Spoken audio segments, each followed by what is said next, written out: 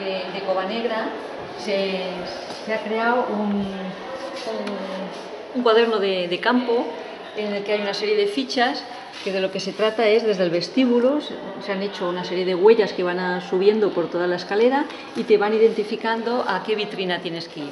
Entonces aquí tienes una, una de las colecciones más importantes de fauna de- del Paleolítico Medio, por ejemplo, como son esta defensa de elefante,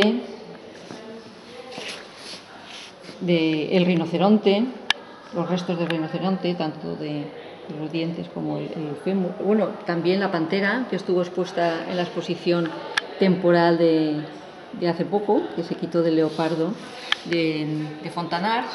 Bueno, una serie de elementos, también un castor, es decir, hay varias vitrinas en las que rellenando este, este cuaderno, este cuaderno de campo, es curioso porque te vas fijando cómo serían las huellas de los distintos animales y luego si se rellena el... Bueno, es, es interesante porque este, claro, este cuaderno te lo llevas a casa y tienes toda la información, pero también se ha rellenado las primeras fichas, luego al final hay, un sorteo, hay un premio de quien rellena las fichas que se llevaría el dibujo que hemos visto de la fauna de todo el museo más una serie de libros de que edita el Museo de Prehistoria. ¿Cuántas, eh, ¿Cuántas guías hay eh, para esta noche de los museos? ¿De personas de eh, fauna humana o, o te refieres a la fauna de...? Bueno, Sí. primero la fauna del museo con las piezas y bueno, ¿y, la, y cuántos seréis como fauna humana para esta noche tan especial? Sí. Pues de, de la fauna, bueno, está expuesta toda la colección, pero para, digamos, el, para el juego se han identificado como unas 10.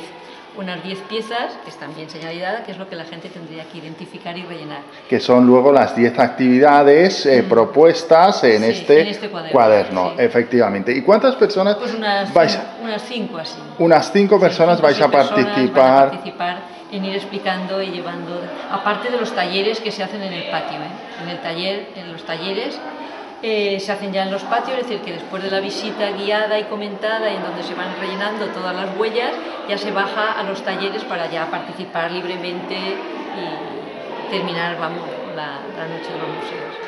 Bueno, pues muchísimas gracias Elena Bonet por esta maravillosa explicación y así invitar también a los lectores y todos los visitantes que así lo deseen en disfrutar de la Noche de los Museos en el Museo de Prehistoria.